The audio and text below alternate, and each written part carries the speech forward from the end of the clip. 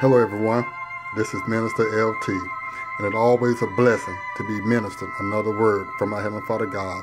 And today we're going to be talking about ask not, receive not. There's a lot of people out there in the world today. You're not asking God whatever it is that you want you want God to do in your life. You're talking about it, which lets me know it's on your mind.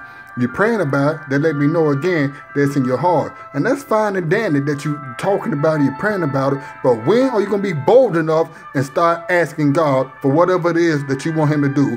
When are you to be bold enough to start asking God whatever it is that He wants you that you want Him to turn around in your life? That's when you're to see God move on your behalf. But you got to be bold enough and brave enough, and you got to ask God whatever it is. That's why this message right here today, whoever listening to it right now, I believe and I declare right now in the mighty name of Jesus, somebody gonna be bold enough today and they're gonna ask God whatever it is that's on their mind. They're gonna ask God whatever it is that's on their heart, and you will see how your heavenly Father God is gonna turn up and show it in your life. But once you ask, ask for it, you will see that it's already yours. Amen. Amen.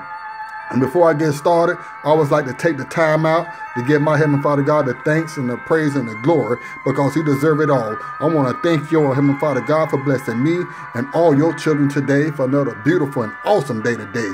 Thank you for the breath that you put inside our lungs today. Thank you for our health today. Thank you for our strength today. Thank you for our eyesight today. Thank you for our hearing today. Thank you for our voice today that we can thank you, praise you, and glorify your holy name, Jesus. We want to say thank you because who you are. We want to thank you because whatever we ask you for that you will do, oh Heavenly Father God, no matter what we go through in life, you always right there for us, oh Heavenly Father God. For that reason right there, we want to thank you. We want to thank you because how you died on that cross for all our sins, oh Heavenly Father God. We want to thank you no matter what. We won't have nobody to turn to. You always right there for us. We want to thank you no matter what who turn their back against us. You will never turn your back against us, Jesus. For that reason right there, we're going to thank you. We're going to praise you. We're going to glorify your holy name just because you deserve to be praised. You deserve to be glorified each and every day, Jesus. We want to say thank you because we're going to keep lifting you up. We're going to keep praising you. We're going to keep glorifying your name because you deserve it all. For that reason right there, you deserve to be thanks. You deserve to be praised. You deserve to be glorified each and every day because you're awesome. There's no God like our God can do what you can do. Oh, Heaven Father God. For that reason right there, you deserve to be thanks. Amen. Amen. Now, we better get into this word, ladies and gentlemen. And I would love for y'all to turn y'all Bibles to Mark chapter 11 and real reading from verse 24. That's Mark 11, verse 24. And if you have your Bibles open and ready to receive this word, shout out amen. Amen. Let's begin. It said, Therefore, I tell you, whatever you ask for in prayer, believe that you have received it and it will be yours. And that right there, y'all, it's a blessing. That's why this message today, ask not, receive not. That's why some y'all is not getting nothing from God right now because you're not asking. You're talking about it, you're wishing about it, and you're praying about it, which is not bad at all. I'm not telling you not to do neither one of those. But when are you going to be bold enough to start asking God whatever it is that you want? And I'm just going to start with start with the ladies, the women today, whatever it is. Some y'all are not asking God for whatever that you, but for whatever it is that you're not asking God for. Some y'all are ask, y'all looking for that man. You talking about that man, but you're not asking God to God to bring that man to you. And the reason why you're not asking for it because you're not receiving it. That's why some of y'all right now probably going through a hard time with a with a with that guy right now. Maybe that guy probably doing you wrong. Maybe that guy probably abusing you. He um cheating on you or whatever it is. But once once you ask God, once you ask God to bring that man to you, He gonna make sure that man that He got for you is not gonna do you wrong. He's not gonna cheat on you. He's not gonna abuse you. He's gonna love you because who you are. You is his diamond. You is his princess. You is his diamond jewel. When you ask God for that, God gonna send that that perfect man to you. And the same thing go for my brothers out there as well. You're not asking God for that woman. You chasing all around town looking for this girl, this girl, and you still not finding no love.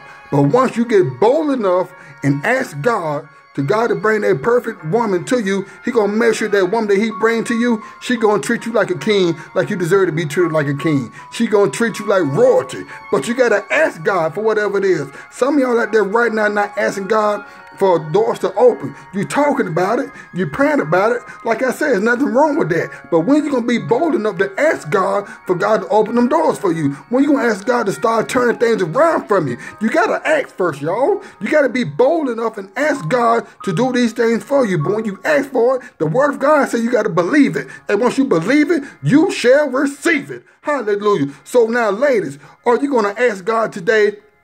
For um God to turn things around for you. Maybe it might be in your finances. Maybe it might be uh you looking for a husband. Maybe it might it might be for a better job, or maybe it might be that you want to look for you, you um you want a child. Whatever it is that they whatever it is that you asking God for, when are you gonna be bold enough to ask God right now to move on you? And once you ask for it, you gotta believe it, ladies. And once you believe it, you shall receive it because this is what the word of God is saying right now. That is a promise. And they go the same thing for my brothers too as well. Maybe y'all that asking right now for God to open up a door. Maybe that you asking God, you want God to, to bring you that wife. Maybe that you want God to turn things around in your life. Maybe that you want God to bless you with a new home or whatever it is to turn your finances around. Whatever it is that you want God to do, you got to act for it.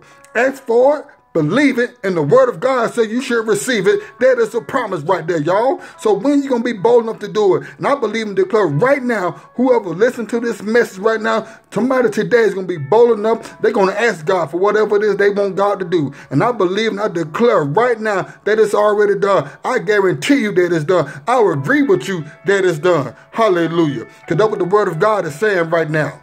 Now, who to be bold enough to ask God today? Who's going to be bold enough to ask God for whatever it is that what you want God to do? And you ain't got to be one thing. God said it, it don't matter what it is. Put it on him. He wants you to tell him whatever it is that you want him to do in your life. It might be a hundred things. If there's a hundred things, there's no number too small for God or too big for God. Y'all? So don't think that you that you getting on his nerve, but you keep asking. He wants you to ask. That's why this message for ask not, receive not. So if you're not asking God for doing anything in your life, if you're not asking God to turn things around in your life, if you're not asking God for his favor and his greatness, then how are you going to receive it? You're not going to receive it, y'all, until you ask. Start asking for it. Start believing it. And once you do that, you shall receive it. Hallelujah. Thank you, Jesus. Because that is a promise But your Heavenly Father God said he will do for you. That's a promise. Now, I'm about to end my I'm about to end this um, message right now. I believe and declare right now somebody gonna ask today. And it's already done. Ask y'all, believe it and receive it. It's already yours. And if you receive this message today, shout out amen. And I never like to leave my show or broadcast without leaving with a prayer. Can you please pray with me? Lord Jesus, I ask of you to come into my life to take over, to guide me, direct me, and use me so I can build a relationship with you. And I believe right now in the mighty name of Jesus, by y'all praying a simple little prayer, that God is already working everything out in your life right now. And if you ever want to get in contact with me or leave me a comment, my YouTube channel is Withers, capital W I T H E R S dot L T. Or you can leave me a comment on my Instagram at Withers dot L T. I'm asking y'all again, ask for Believe it and you shall receive it. In the mighty name of Jesus. This Minister LT, I love y'all. And y'all always stay blessed in Jesus' name and keep in first place.